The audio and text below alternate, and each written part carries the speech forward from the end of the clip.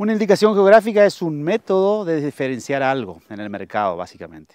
Nosotros venimos trabajando con el cordero de la región para tratar de diferenciarlo. Esa indicación geográfica lo que pretende es valorizar el producto y que al productor le llegue mejor dinero al final de todo el proceso. La diferenciación básicamente consiste en demostrar que nuestro cordero es bueno.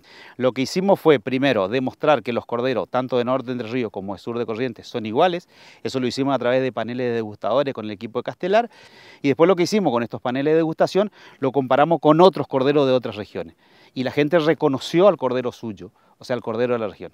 Eso nos da que es un animal diferente y que es un producto diferente, que es lo que decíamos en un principio. Con todo eso se presenta un pliego a nación para lograr la IG. La IG sería cordero del centro mesopotámico y la propuesta a partir de ahí es que los productores formen un ámbito en donde ellos sean quienes manejen la IG.